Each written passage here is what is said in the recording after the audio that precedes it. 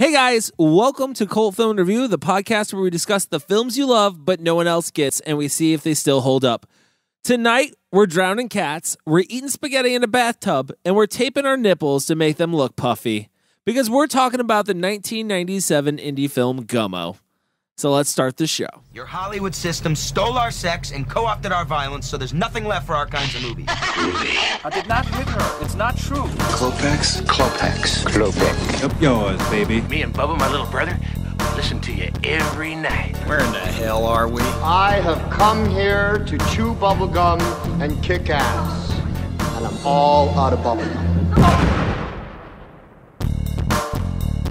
All right, guys, uh, before we get to Gummo, let me please first say this. Please subscribe to our show and uh, leave us a review. It helps us out a bunch, helps us climb the charts, and it helps more people find us and helps us bring you a better show. And it comes to your phone automatically or whatever you listen to us on. You don't have to worry about it. I, I love how we have to explain how, how it works. like like people have, like people have listened to podcasts. Are, you know what? You, you subscribe to us. It comes automatically on your phone. Grandma, grandma, are you listening? it comes right on your phone. You just got to get an upgrade. Go from the 3G. You got to get a six, a five, maybe a four. if you didn't know who that was, that was Michael Salustio. Hi everyone. We're also joined with Chris Willenbrecht Hey, what's up? and Kyle Smith. Hey, how's it going? as usual. So we are here to talk about Gummo today. This is Chris's pick. Yep. Chris, I really got to ask you why you picked Gummo. Uh, okay, uh, two reasons. First reason is I saw this movie when I was like 15 years old. I think I saw it on IFC, and I didn't know what to make of it. And it was probably like a beginning uh, introduction to like an art film for me. So seeing it, I was kind of like, "Whoa, this is really interesting and really bizarre and out there, and unlike anything I'd ever seen."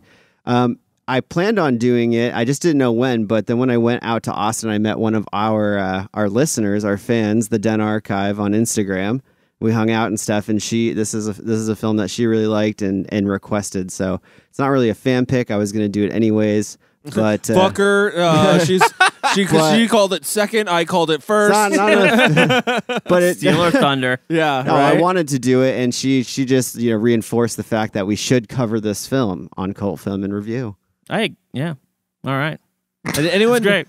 Am I the only one who had not seen this film? Because I had not. I not only had I not seen it, I personally have never heard of this movie. Please, uh, the internet, don't attack me for not ever hearing this mo- of this movie. But I had never even heard of it. I've seen it. I've seen it. So Yeah. I was the only one. Yeah. Okay. Yeah. All right. Well, Um, fuck I, it. I I actually have a question about that. yeah. Go ahead. Like how Kyle, how did you first see this movie? Um, I it was ex girlfriend um brought it to my attention, and I was intrigued to see it because I remember um going to to uh, like I remember shopping around at Hollywood Video and always seeing the cover art, this the the side profile of the main character, and being so intrigued as to what the hell this even is, and um. She had she had she had brought it up and I was like, oh yeah, I remember this. I remember this movie. I remember the the, the cover. Let's check it out. So that was where I thought That was probably uh, that was probably uh, four four years ago, three years ago, something like that. What about you, Mike? Man, I think I just ca- I think I just caught it on like Sundance or something like that, or maybe I picked it out on I think it was on Netflix at some point in time. It was. That's when I watched it. I think that's when I yeah. no I saw it earlier than that. I saw it I saw it Well- in like the early aughts. Mm-hmm. Definitely saw it like in the early aughts. So I'm gonna The early go. aughts. I'm gonna go with I'm gonna go with it. I probably saw it on like IFC or Sundance or yeah. something like it had that. to. It might have even been Sundance for me too. I Yeah, don't, I'm not yeah. 100 percent sure, but one of those channels. But keep in mind also when I say it was like three, maybe four years ago, I don't know. My my my concept of time Uh-huh. has is- disappeared. is really bad. So So the director of this also uh Har- was it Harmony? What's the Korine. Korine? Uh, also co-wrote Kids. Yes. Mm. Well, uh, he wrote Uh, kids. wrote all of Kids. Well, no, he did you write co-wrote. all of it? Pretty sure. He, I I'm pretty sure uh, he was uh, the main David, writer. whatever. and he's also known for Spring Breakers, uh, Trash Humpers. That's like some weird. Never heard of it. yeah. And uh, a Rihanna music video, which you know That makes sense though. it comes Yeah. out of nowhere to me. Does that make sense? I've never seen it. It does make sense to me that he would do a music video, ju- Yeah. just seeing his kind of visual After style. Spring Break- can you just Yeah, I can you so. say no to Rihanna? I don't think you can. I wouldn't. If I- I Rihanna, I didn't mean like that, Kyle. I- neither did I. What's wrong with you, Cody? If Rihanna showed up in this room right now and she's like, "This podcast is mine," I'd be like, "All right, guess what, guys? You got it. guess, sorry, guys. Cult film review starring Rihanna. Oh, really? Oh, a bunch of turncoats. I see. bunch of turncoats. Sorry, you're not Rihanna. That's how I felt. that's that. That's how I felt. Not that I wasn't Rihanna, but that's how I felt when it, when I first watched this movie. I was like, "What are these son of a bitches trying to do? Is there some kind of conspiracy of like, let's just pick a fu- fuck you, Cody films Oh, you think the- that's what the the- what inspired it? for the You month know, of I, I, November." I, I, I Like, did there was a think little- to myself, like, there's a little co-host get together. Like we all No. got together, had a little talk. Like, what do you I'm mean gonna- for the month? I'm gonna pick Dick Tracy. Fuck What? him. Fuck you. Dick And Tracy's a then- great movie. Then we jump to Chris. He's like, you know what? I'm gonna, I, I, you know what? Uh, fuck him. I'm gonna. I will pick say, them. I will say before we jump fully into this film, I will say I was completely ta- like blown away that you didn't like it. I thought for sure that'd be up your up your Yeah, alley, me but we're not too. going to talk about it anymore No. because that's done. It's you done. thought Go this back and listen movie to the would be up episode. his alley. I thought Dick Tracy would be oh, up his okay, alley. I'm sorry. This one, no, I never thought. When you when you said it, I was like, ooh, he, he gonna hate that. Yeah. Oh, he gonna hate I was that. like, he, I, I thought I'm like he's gonna hate it as much as he hated Holy Mountain. yeah, I thought that too. so well, let's find out. Let's find out when we come right back. Xenia, Ohio. Xenia, Ohio. A few years ago, a tornado hit this place.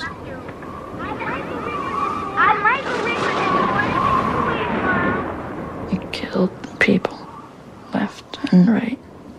Dogs died. Cats died. Houses were split open, and you could see necklaces hanging from branches of trees. All right, guys. So we're back, and we are talking about the 1997 film Gummo. Uh, let's start off here. I, I'm going to ask this question first. Uh, as an art house, it's an art house film, obviously, but is it a cult film, or is it is it a cult film, or is it a cult uh, filmmaker? Is it? He's saying, is it a is it a cult because of the filmmaker, Yeah, or is the film itself a that, that cult that's film? a, like, that- I feel like that's a legit question. yeah, it is. Okay. so, so in my opinion, this this is like, I feel like this is like a quintessential cult film. Like, if we're trying to define the word cult, I feel like you almost need to be a part of one to like this film. It's this. This is not a film. Like when we say this film isn't for everyone, this film definitely is not for everyone. So, um, so I do think it's a cult film, and I think he just kind of comes along with that because he's the writer and director. He's the vision, the vision of what this is. So, um, so I think it's kind of one and the same. Yeah, and I would like to to like piggyback off of that. Like, I wouldn't quite say he's a cult film director because you named off a couple of his other films, and it's shit I've never even heard of. Like, usually a cult film director, like anything he touches, gains this rabid fan base. But there's there's there's select films that he's made that that do get that following that that grip onto it. I almost feel like he did. He got that though with Spring Breakers. Yeah, he did. He Spring got that with Spring Breakers. But I don't know if that Spring Breakers was so much. I mean, was it a cult film, or was it just because it was super controversial? I think it is considered. Uh, uh, no, I think I've seen it on some film. lists. Yeah. Yeah. I mean, I, I believe it. I believe it. It is because there. I I only know two types of people: people that loved it and people that hated it. and, he, and he definitely You know? sets, he definitely has a a unique style as a, as a director and a writer Mhm. to where it's this um brutal honesty almost I, I don't know if it's honesty either It's almost documentary style. but no it's like this brutal exaggerated honesty like i'm from missouri i i don't i didn't run in circles like this but i've known people, people like that. who like this yeah, yeah. you know and not maybe to this extent but pretty damn close yeah, Yeah, I, I understand. It it it, deal, it deals with an area of America that few are uh, uh, privy to to ever Can we- actually experiencing. I Can we, think. if you want to put a, if you want to put a, like a term on it, can you call it, call, can we call it like hyper reality? Well, I was No, actually no. gonna I was gonna say like, is this scarier than like a reality TV show? You know, is this like um I mean this is nineteen ninety seven. You're getting you kind of do peer into what seems to be a reality somewhere. It is, Yeah. but the way it's edited and the way it's shot almost purely makes it a surrealistic mm-hmm. interpretation of that. Yeah. So it, it's hard for me to say because I, I, I d- those people were real. Mm-hmm. Those houses were real. Everything that kind of happened in the film was real. But the way he cut it, the way he did things, the way Right. he told the story, that's all ser- that's completely surreal, uh, surrealistic. Yeah. is that the word? Do you, use? you want to Surreal. know how you want to don't know how I explained it to myself? This Yeah. movie, um, I explained it to myself as the story wasn't so much from the perspective of the people who were in the movie, as so much this was the story of the town and and moments or segments of the town after this tornado had hit. I would uh I, I would actually I, I would kind of agree with that. And there's something that I thought to myself towards the end of the of viewing the film and I and, and he does a lot of, he does a lo- there's a lot of scenes where he just he just hangs on a shot for for a while. And for for like the casual viewer like even for me at the the start of it I thought okay well maybe he's just trying to really punctuate like this character that's in the center but like the more you look at his scenes like I feel when the when he holds on him, I'm more drawn to the weird surroundings. Mm-hmm. You know, mm-hmm. So I feel like he is trying to tell more the tale, or concurrently tell a tale of the the the character you're staring at, but also the environment that they're that they're sitting within. Because there's so much shit happening on in the backgrounds that is disturbing or interesting and confusing, and I think he was trying to tell a complete tale. Do you think avoiding like the the three plot structure and the way that that kind of goes? Do you think that that helped create the the I guess the the the never being able to, in my opinion, um, fully kind of like a character in this movie, attached to a character Uh. because you kind of don't really get a full story. There's not really a Well, full it, it's there's story arc. There's, or there's really no narrative at all to Yeah. this film. There's there's really nothing. Um, it, it really is. I mean, yes, we follow Solomon and, and Tummler. Th- They, they seem to be the guiding force that kind yeah, of they're the center of they're the center story. of everything. But it, it's hard to tell when the times start and when they begin, or when if any of this is really just episodic events in their lives, or if it's a linear storyline. Right. I don't think it's linear. Um, but i- it's more a picturesque understanding of the world they live in, less than a story meant to tell the tale of these two kids that are Right. going from one place to another. Yeah. Yeah. Well, I feel like his like scripts say one thing and his visuals say another, like kind of juxtapose a little Mhm. bit. Like like the dialogue is all I don't know. I, I I I see it either as poetic or as just nonsense, you know? Um but I can't believe that it's nonsense because I don't think he's the kind of person that would spend his time just writing nonsense, you know what I mean? Well, that's like yeah. So that was again. Uh, I watched this movie twice, so let me say that first. Uh, first go around, um, I was in that boat of this is nonsense. And then when I read up on the director and was reading that, like, this, a lot of this movie, he's very into vaudeville and stuff like that. Yeah. And then there's the scene where Tummler uh, is is basically doing a stand up routine, which is very vaudevillian. And I found out that that's because it's it, it was very that's very because his character is based off of uh, the name of it is a vaudeville term for like the lowest form of a comedian. They would be like bellboys. They would be like bellboys, and they would be like telling you jokes as they carry your bags. Tummler's Oh, also okay. actually also Yiddish for agitator, Oh, did which not is know that. thing that uh, Did not look at that. And now you know. A little learning lesson for you out there. You know. But uh no, I, I saw that. But then there is stuff in there that I think can be considered nonsense because uh he gave all, all his friends and family that were there helping him film this and the crew cameras. And they went out and captured stuff in the city with real people saying real things. And that wasn't scripted. So that's in there. So yeah you are going to get some nonsensical stuff because they're they encourage people to from what i understand do drugs uh to, to to if they were doing drugs. Not like like hey do this crack. But if they were like i smoke crack then they're like then feel free to smoke crack dude we're not going to judge you Right, like right. that's, that's they didn't want to use yeah. any real actors. I think there was only a few people on this uh, I, I counted shoot I counted four. that had any acting Yeah. experience at all. Um, and the rest of them were just, yeah, characters that they kind of found along the way. It's even interesting how they found, uh, like how how he discovered Tummler. Uh, you know, basically he was on like a Sally Jessy Raphael show about uh being addicted to like huffing paint or something like that. Really? Because that doesn't surprise me. And so so he tracked him down and basically was like, you, you have the right look for this character. And then for the character of Solomon, he saw him on um, uh, in some film, like had a, a bit part and said that his Weeville, Weeville, weird, welcome weird, to Wellville or something. something like that. Yeah. But um, he saw him and was like, "Dude, I can't stop looking at this kid's face. It's like it's so Yeah. crazy looking, you know." So he wanted to he wanted to pull him in as well. But you know, all the mostly all the rest of the characters are friends and, and randoms. Uh, except for um, Solomon's mom. hmm She's she's she's been an actress since like Oh my 1970. god! Can I just tell you something right now?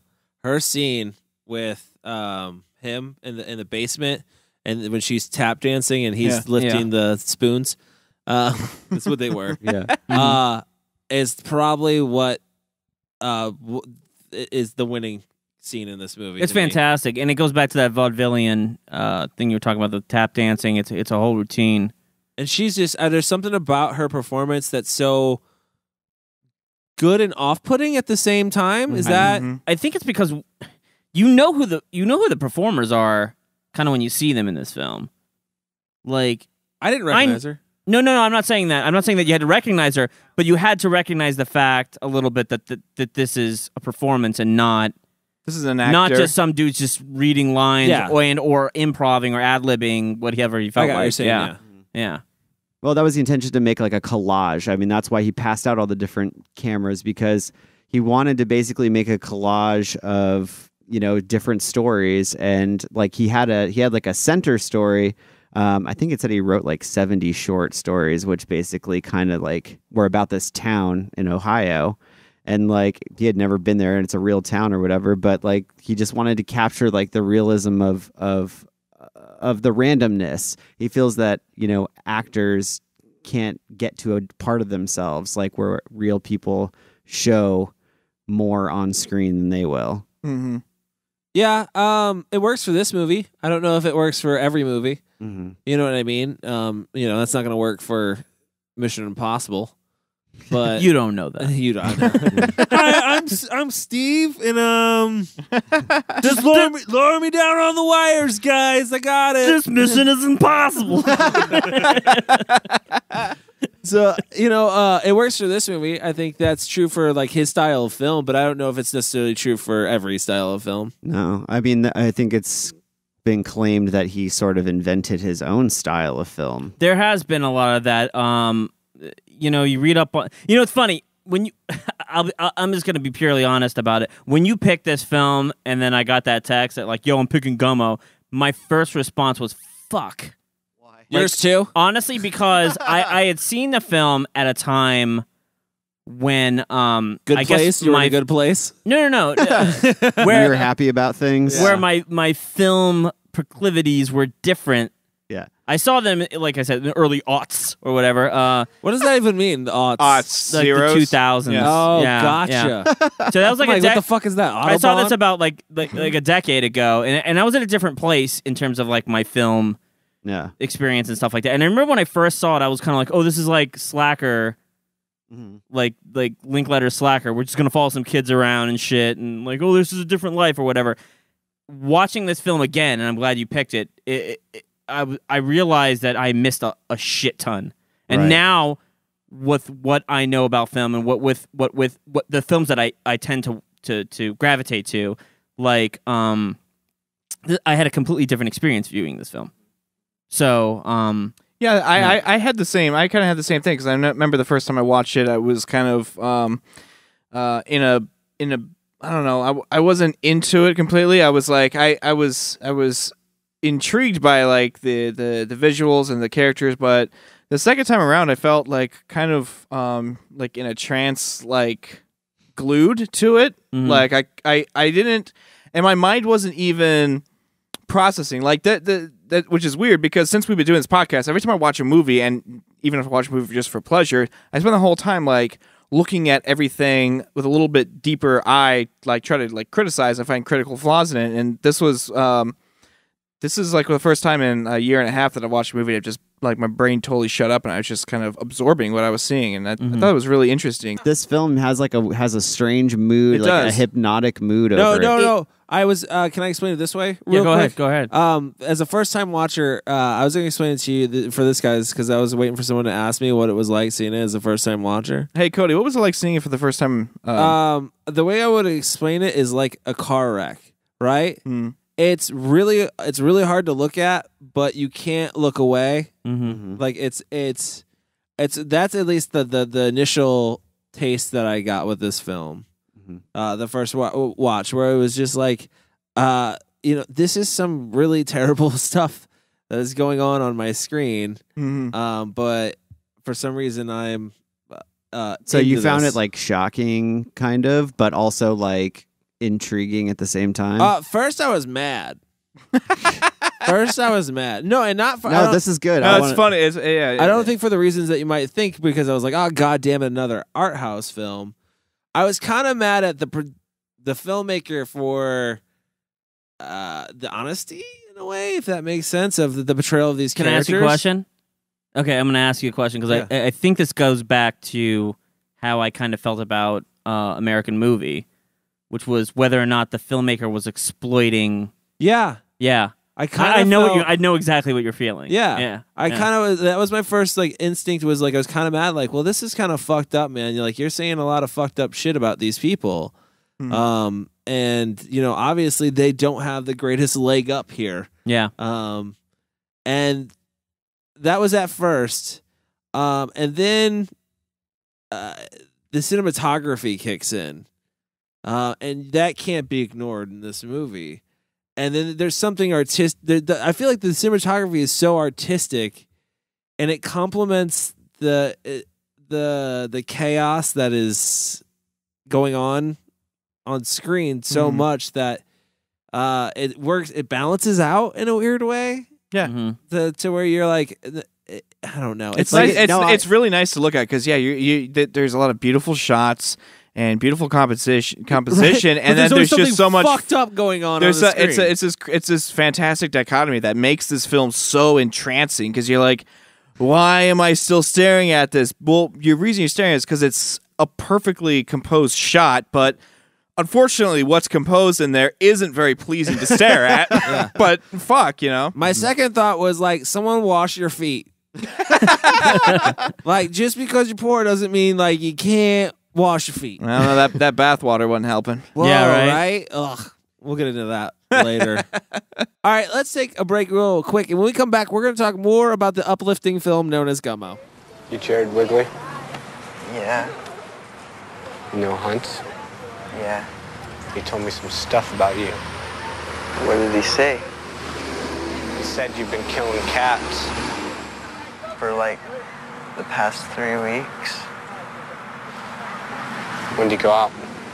Do it during the day usually? No, I do it mostly at night.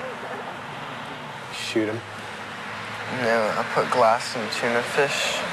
Mostly, I sprinkle poison around the dumpsters, like in the corners, or around back behind the church over there. Hunt said you take care of your granny. Yeah, she's sick. All right, guys, we are back. We're talking about uh, Gummo. Uh, let's see. Let's talk. What we? I mean, there's so many things to talk about with this movie. Uh, it's it's really weird that it, it it's kind of hard to remember too because it all happens in pieces. Yeah. Um, but there's there's just uh, there's a lot of animal cruelty. So if you don't like animal cruelty, make sure you uh, give this a watch. I have a question really quick on that topic. Yeah. Um, how much of that was? Because I don't know how much of that was real. How much was staged? All staged, all fake. Yeah, I don't think you can do that post Hey, man, some- 1970. uh, Well, okay, so, some America, some at some least. directors, I don't know. You know, they they they just take Yeah. risks. No, so. it was it was all fake. guess Um, what? Felt real. Yeah, Yeah, it did. Well- it's like the opening scene. They just drowned a cat. Yeah, but it's cut creatively. Yeah, it like you don't see him actually put that live cat in there. I mean, the thing that I think makes it feel so real is the style of the film. Yeah, they're you using know? the VHS cameras or yeah, whatever. it yeah. just looks so low quality in a lot of parts that it it, it has a reality to it, or so we perceive it that way. It's got that real world star but feel. then he balances it with like a lot of really cinematic stuff. So Yeah. yeah. I agree with that. Um, can I? I'm sorry, Yeah, C- go ahead. Cody. I, I brought this up to you outside, but I want to ask these guys just because. So, cats they play a pivotal role in this film. Um, I feel like, j- am I wrong to feel like I missed what the symbolic meaning of the cats were? Is there a symbolic meaning to that? Do they represent something else, or was I reading too much into it?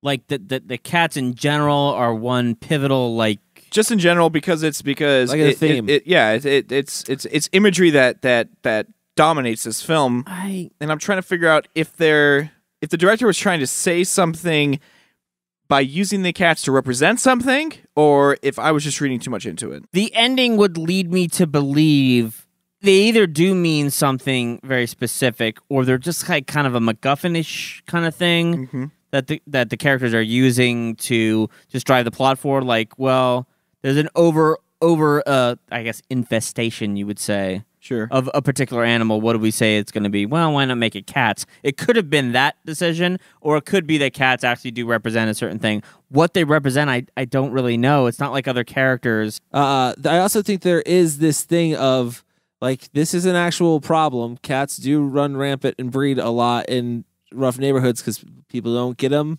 fixed, Well- and then you have a lot of feral cats, and it is like a, it's like a real thing. Well, they make Yeah. they, they make a point uh, early in the film. There, there's that moment where they're about where uh, uh, uh, Tummler's about to shoot a cat, and then Solomon says, "Wait, that cat belongs to somebody." So they have a code of ethics, Mm-hmm. like a moral code that says you don't shoot someone else's cat, but they ultimately do at the end because I'm wondering it's the if they. cat. I'm wondering if they realized that was the same cat, or if they Well, were just it- trying it- to nab whatever they the could. only thing is that it had a it had a it had a leash. Yeah. So why wouldn't they think it was a domesticated cat? They know. didn't. They I- didn't kill that cat, did they? I thought the kid with the bunny ears.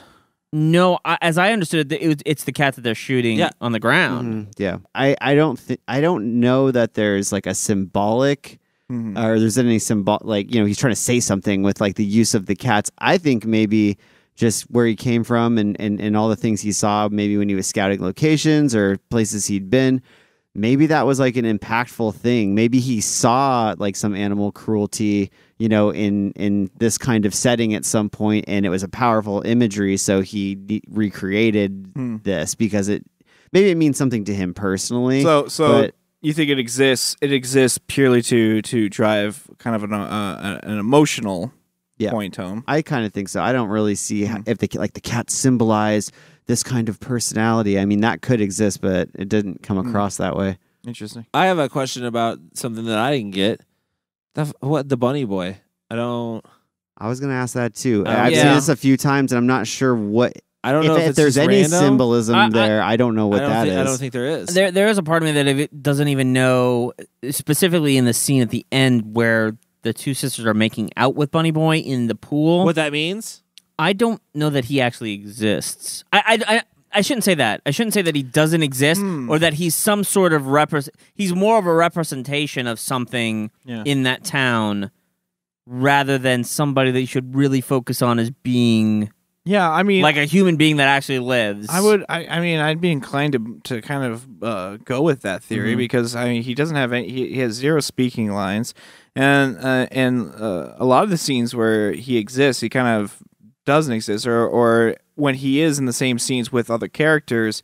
It's like where he gets shot. He's just basically laying dead and not Yeah. responding to it. The only time that seems weird is the pool scene. But to your point, yeah, I don't. I don't even know if that it- scene it's almost like he's Jesus? Do you think he's Jesus? No, no, no, no, no. no, think about it. I definitely it. wouldn't say that. I I think he's some sort of man. How do I put this? Like a a whipping boy of sorts. He's definitely some sort of some something some type of character that the that the the entire town kind of acts upon. Mhm. He's not somebody that actually actively in any way changes the story. He's not a catalyst in any way. don't feel like he's an active member of the town. Right. But but what we see the how the other characters actually act upon him, it, it, it kind of shows that. Like when fucking Squints from the uh, uh, uh, the Sandlot decides he's going to shoot him because apparently he's a homophobe.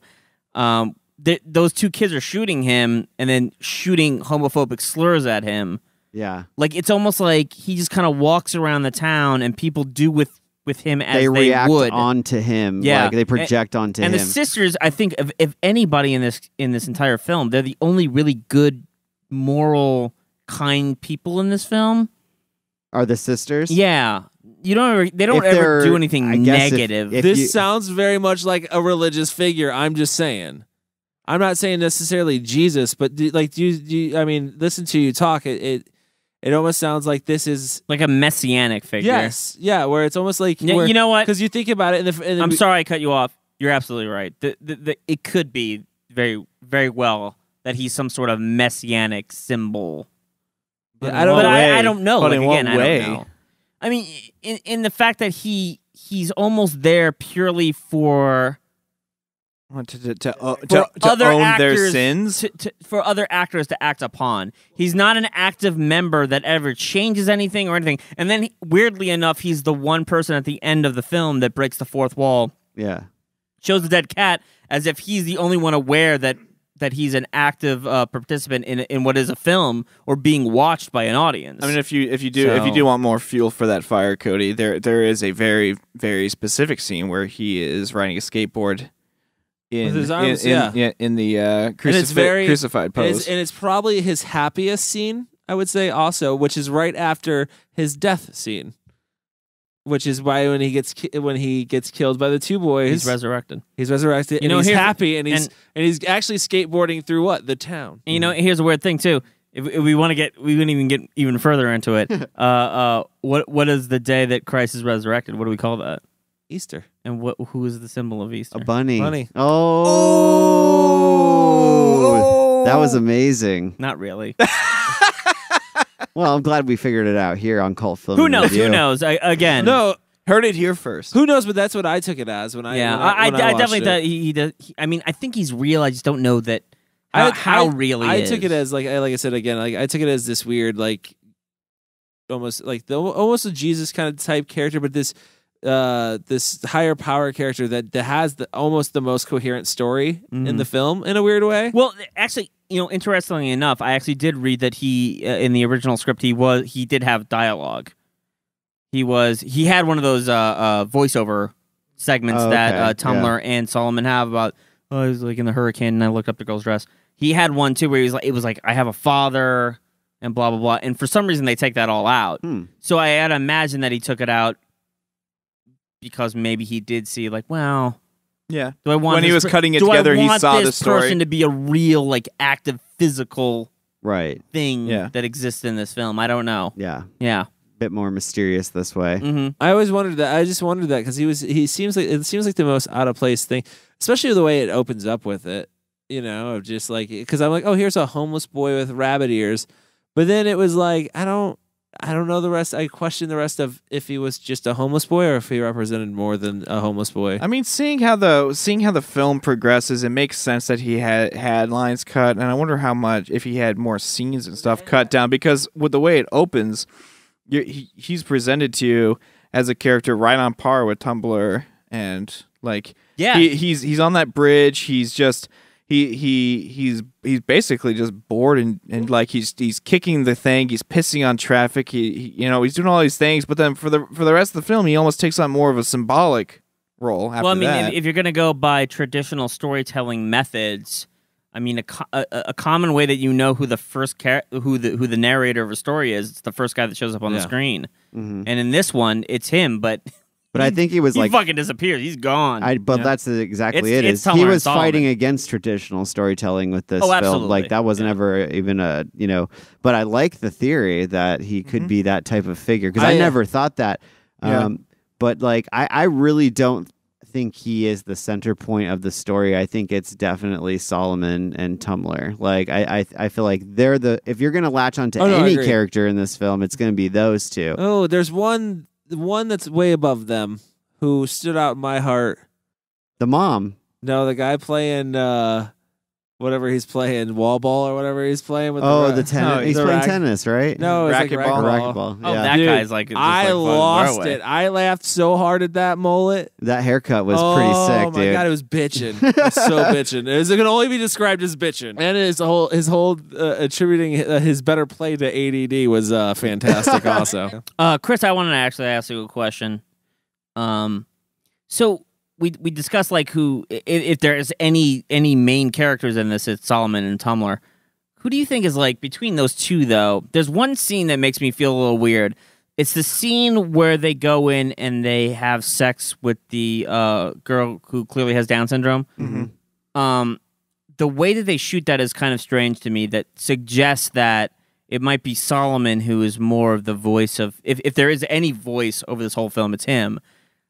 Tummler goes in there and we don't get any yeah. underst- Right. like we don't know what's going on other than we know that the brother is like looking in on them and then uh, uh, Solomon is like looking up. So it's from his point of view. yeah. We only see that situation occur, that whole thing uh, occur when Solomon walks in the room. Yeah. Right. I feel like I'm they, wondering they each if- have their own moments though, because was Solomon there during like the chair wrestling scene? I don't think he was there. It was No, it he was wasn't. Tum- he it was Tummler. wasn't. So that was Tummler's like family. Yeah, well, but I think they each have their own moments, like what you're describing. Like to me, like the the the the power and the imagery of that scene being with with Solomon in, in the room with the you know down girl with Down syndrome, uh, e- had the equal effect with Tummler in that scene where he's in the kitchen and everybody's basically getting wasted and, Yeah, but, but but then again, it's like Solomon has that scene with his mother. Yeah, the I'm- I'm trying the to figure bathtub out scene. why that. I, I- I guess I'm trying to dissect that scene specifically as why that was so, why that was cut the way it was. What do you Why not show both both characters and how they are different in the way they react to that situation? Oh, I see. Because Solomon, he he goes in there, and I don't even know that he Well, really I- has if sex I- with her. I if I think he to- just kind of like I, I think I have an answer for that is because the, the, the imagery of like a 13 year old kid going in there is a lot stronger than the imagery of like a 17 year old kid going in there. Mhm. Like there's something a lot more taboo about like a 13 year old going in. And and actually that scene I really love because you don't see anything. They don't show anything explicit. It's all implied, but you know, it's actually kind of somewhat romantic with Solomon, like if you can even use that word in this film.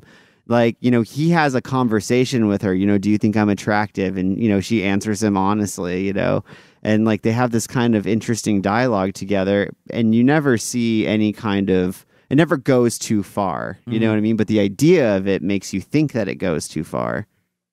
I was gonna say uh, my theory on, on on that of is maybe it's his look because I think I agree with Chris in that I feel like they equally have these scenes that like I also feel like Tummler got the the the grandma scene where they kill the grandma. Mm-hmm. I feel like Yeah. that was also his another one of his big powerful scenes and and Yeah. and uh, that might combat the the the the mom scene in the in the basement. Mhm. But um, I think it's the look of Solomon is so unique that you focus on him when they're on the screen together. You Yeah. focus on him ninety percent of the time. I time. mean, I for would Christ's sake, he's on the cover of the box. Yeah, I would, I would, I would definitely agree with that because even the scene you scenes you guys brought up where where he's wrestling with his family and and hanging and um with Tummler's with his family and stuff, he's got kind of a look that is um almost invisible. He blends in. He blends in when he's around all those other people. Whereas Solomon, he's such a powerful uh, look to him. Even even when his hair isn't fully like puffed out, you know, he just has a really unique face. And yeah, I think it just sticks with you a little bit more. And I think there is something also to be said the fact that he is like what thirteen ish, and he's because he's younger. He even though he's there, there's no scenes in this movie whatsoever that I could honestly use the label as an innocent. He still is kind of like an innocent, the the innocent of the two. Well, his mom's bringing him food in the bathtub. exactly. You know he's what still I mean? Like, he's still a house. kid. That house, I know. oh God, the tub, the water. Maybe that's what it is. Maybe that's what it is. Maybe maybe his scenes are so much more powerful because when you're looking at Tummler, he just seems like kind of a lost lost adolescent or lost lost adult. Whereas whereas um I just forgot his fucking Solomon. name. Solomon is a kid. He's still a kid. He's still being taken care Well, of that's by one his thi- mother. That's one thing I did notice too is that uh, they I don't think they ever showed Tummler's home. they show no, yeah, they, did. they show his father I thought they just always showed He him has on a the he has a move in the one on one scene with his father in the and car, then, and then, then, that switches over to the the chair breaking. I, yeah, but I didn't think that was Tummler's house. I thought that was the coke dealer's house. oh, it could have been. I don't the know. The neighborhood that, coke dealer's house. yeah, that but they always had didn't the show women. him. Yeah, he was the big guy, No, right? Was No. that the bigger the bigger blonde dude? Who you talking no, about? No, the coke the coke dealer. They showed images of him, but he was never an Oh, active. I always thought character. that. I thought. I sorry. I related him to the I the. thought he was the guy with all the aggressive. oh yeah, like, no, that uh, wasn't him. That wasn't the, him. In the, in no, the, in that. that guy was a brunette. This guy was like a redhead. Well, you know, they How, all blend- look alike. how did you feel about the scene with uh, the the white dude and the black dude on the couch? That's uh, the director. and, Yeah, uh, it is, yeah. and I didn't re- I didn't remember that he was in his own film, and and then I saw the scene. I'm like, is that him? And then the scene just got so strange. He was actually, from, from what I read from the history of this, he was actually drunk when he when he I don't think you Shot could that. act that well. and, like he and- was and drunk. the- actually, the guy that he was acting against um, was a high school friend. Good friend, yeah, yeah. Yeah. well, they played it very awkwardly together, They which did worked a really out. Good job. Yeah. it did a really good job. Um, what, what are you asking? What's to be gleaned from that scene? no, I was just saying, like, did it catch you off? Did it catch you by surprise? How Or did you it- feel yeah. about it? Is what his original question like was. because for me it was like it, it- like I, there was a lot of things going on for me i was like okay this is like a weird setup and it was just like a little blip in the movie you know but it was like the shit he was saying like i feel like i'm coming out of my mother's womb and all this stuff i was just like this is so awkward and hilarious but like kind of like freaky at the same time like Yeah. I, just the way i mean for him to put himself in his own film and and and and create that kind of scene which i think is the last scene they shot in the film Oh, like? Okay. that that's a testament to his art i feel like is he's willing to put himself in what it as uh, well What I my little my little fan theory on that was was that that was Tummler's brother. Oh no, but Tummler's brother didn't he? he moved away moved But away to then big again, this city. movie doesn't follow any kind of uh, timeline whatsoever. So I mean, it I mean, realistically could have been. I guess it could have been. It could have been. because some of the stuff he was talking about his mother, like I feel like was echoed slightly when Tummler was having the one-on-one with his father. Some of the stuff his father was saying about his mother. Some of the stuff seemed kind of I I I, I can see where you're It's- going it's, with it's that possible that because I thought the same thing initially. that he was closeted has this scene with this guy who turns him down because you know just because you're gay you're the gay guy in a fucking small town doesn't mean you want to fuck a guy you know um it's possible that he goes to the big city because Sure. he's in a very restricted area Mhm. Yeah. where where his homosexuality can't be like fully explored in any way i mean that's possible Yeah. I mean I, I mean, I, But they don't- I I I don't initially thought. Sure. I Yeah. honestly I don't know for sure, but I don't know if it's for sure either, but I, I initially thought the exact same thing, Cody. yeah. So there you go. There you have that, Chris. Boom. Boom. another boom Stick of dynamite you didn't even know was lit. Yeah. i didn't even Another know what boom from happened. Cult Film in Review. Uh, any favorite quotes from anybody? Uh, the only quote that I actually remember laughing at was I knew a guy who was dyslexic, but he was also cross-eyed, so everything came out right. I feel one- like that like describes this movie kind of. That one did make me laugh too. I don't have like a favorite quote because there's I feel like every line in this film could be considered some kind of quote. But the one scene of dialogue that like sticks with me and like I'm I laugh but I don't know if I should is when the rabbit walks up to the two cowboy kids and they shoot him dead and just all the foul shit that they're saying like is so again it's another one of those like weird moments where you're like I'm awkward because it's so intense but like kind of hilarious because of the accents that they have Well, like you could tell the kids weren't comfortable either because the littler one looks into the camera yeah. at one point, it, like this. to like, is this okay? Like to say Oh. that. Can I, know- tell you another moment? I moment know when what that you're happened? gonna say the two brothers that are beating the shit out of the each other. skinhead brothers. One one of the skinhead brothers to the left, who are actually, I guess, high school, also high school friends Yeah. uh, of Harmony Connick. Um, What was that? Korine. Harmony Cunna Coring. Sorry. Kinda. Harmony. Harmony kinda- Coring, uh, who is also uh, friends of them. Uh, one of them definitely like looks into the camera like, "Are we good? Are Yeah. we done? Are I, we I done?" just got punched in the face can we stop now yeah, can we Like, stop now? That had to be a whole. that was a I real mean, that had to fight be a I real- mean like yeah, Dude, they were hitting each other hard. they Yeah, were. That had the to be a really difficult scene to shoot. Can I read your fortune? This big line says you're gonna be a millionaire. It says your it says your wife's gonna die in um, a hayfire. But I don't have a wife. Your brother ain't gonna be me. Do you love me? yes. Do you think I'm attractive? No, you look fine where you are. Skinny. So one of the things I did want to talk about was like the the legends of this movie, as far as the director and the cinematographer. I guess they shot, and so these locations are real. Some, most of them, or some of them are, I guess, uh, real, and they are as filthy as they were. And some of the crew was not happy with that. Yeah, like they protested against Yeah. it. They were like, "I'm not going in there." and so they he had to buy hazmat suits. so he the, he found that that was offensive. So him and the cinematographer wore speedos and flip flops, yeah to to basically protest them being babies Mm-hmm. which was like I And it's the that's just a crazy weird story to me. I, I kind a- of love that. I love that story too, but at the same time, it's just like what a what a weird set that would be to we- be on. Was- Yeah, like, yeah. Your lot director's in a speedo. Everybody's in hazmat suits, Well, and you're in this uh, filthy place. I don't know. Everybody kind of looked like they were on something, anyways. So it was all weird. I mean, Yeah. that was probably, I would imagine, The culture cockroach, the cockroach scene where he lifts the picture and all the cockroaches come out I of think the wall. I think it was most of those houses. Most of those houses are real, and if you look at it, like there was a lot of they're hoarding going disgusting. Yeah, Def- definitely in uh, Solomon's house. That place Yeah. looked like a fucking nightmare. Yeah. Like a trash bomb went off. Yeah. But but I, to, to to go to the cruise, but I, a well stacked trash bomb. I mean, we're joking about how the crew, like, oh, okay, they did the the the, the flip flop thing, and that's.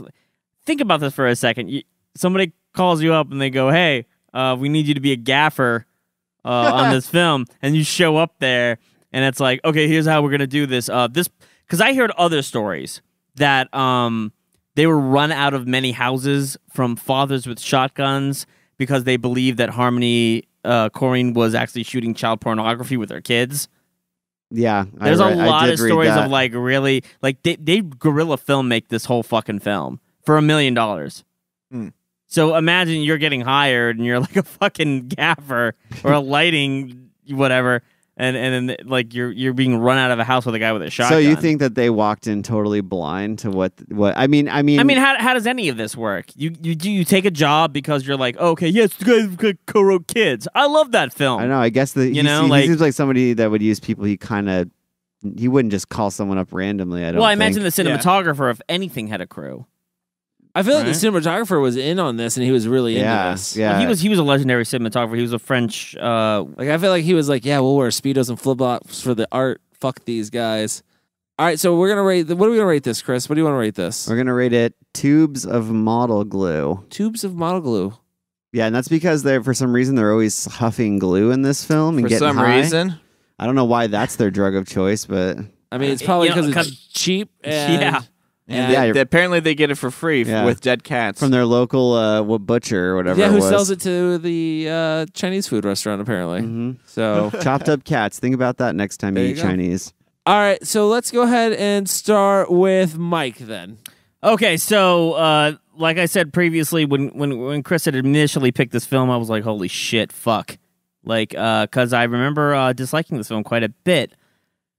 Seeing it now, I don't remember what I gave Holy Mountain. I think I gave it a four. I'm gonna give this film a four and a half. Wow. Uh, I was transfixed by this film, and I, I don't know if it's it's where I've where I've uh, tr- traversed in terms of my filmmaking excursion in life or whatever, or where I've explored and where I've ended up, and this is this is where my journey has taken me. Uh, I was absolutely I, I absolutely love this film, and I I feel that where I differ uh, from a Holy Mountain versus this film, it's the same thing. It's a surreal portrait of like white America that we're very we we we here in this room are not privy of knowing. Like no one's ever. I mean, Cody, you said that you saw shadows of it. Yes. Yeah. but like this is a place that exists, Oh yeah. and the way that this director shows it in such a surreal portrait is I mean it's beautiful. It's a weird beautiful disgust it's a, it's it's disgusting and beautiful at the same time, but I can't help but feel sympathy for the characters and and what he's trying to do. The where I differ in it from a Holy Mountain is that they both end the both those films these films end in the same way with a weird breaking of the fourth wall. Mm-hmm.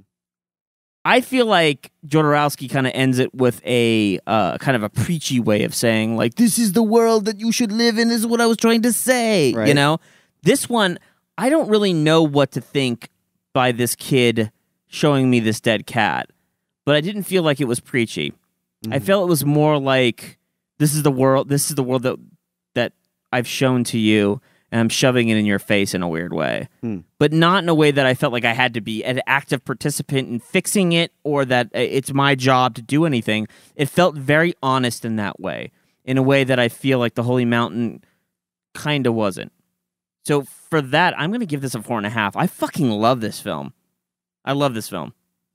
All right. Let's go with Kyle next. Kyle. Um, yeah. So, like I said, I'd seen this movie um, couple of years ago, and I I don't re- really recall having any kind of um any kind of uh, opinion on the matter after I watched it. It was more or less just kind of left. It's a it's a movie that just kind of leaves you in I don't say a somber state, but it leaves you in an interesting sort of place where you're thinking about it, and you'll think about it for a couple days afterwards. Um, seeing again, like I said at the beginning of the podcast, um, I've found this movie putting me into a very um, trance-like state. Like I couldn't pull my eyes away from the film. I necess- I, I I didn't necessarily I couldn't necessarily decide if like I if I like this film before if I'm indifferent to it. And, but it just kept me thinking. It kept me actually wanting more of it. Um, I'm actually surprised by myself. I'm gonna give this movie five. Um, I think it's an impressive, impressively made film, and some of the stuff that we talked about before, which is how he beautifully frames these shots, but what's happening in that frame is kind of disturbing and upsetting, but in a very poetic and beautiful way. Um, I think this is this is this is a great film that I feel like I'm gonna have to watch a couple more times to really kind of wrap my head around what's what's trying to be said in it. So five for me. I'll go next. Uh, I man, I agree. Uh, all the way around with everyone on this. Uh, in, in a certain extent, it's really weird. Uh, I watched it twice. Um, I found myself more interested in it the second time I watched it than the first. Uh, it made me want to watch it a second time. Uh, I I don't know if this is this is, movie's definitely not for everyone. Mm-hmm. Don't get me wrong in saying that, but it is like watching a car wreck. It is horrifying what you are seeing. There are limbs on the road, uh, but you can't turn away. Uh, and for some reason, the the limbs are laid out like beautiful art. you